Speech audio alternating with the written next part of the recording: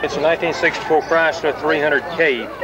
Uh, it's one of Chrysler's limited production high-performance cars that started the series in 1955. Uh, Carl Kiekhaefer took some of the early ones and won the majority of the races he entered with the series 300 series car. That particular car is to my knowledge, the last one running of that particular color. It's Monarch metallic blue. It's a 360 horse version. Uh, it's what they used to call a banker's hot rod. It's fully equipped for the, or at least it was for 64.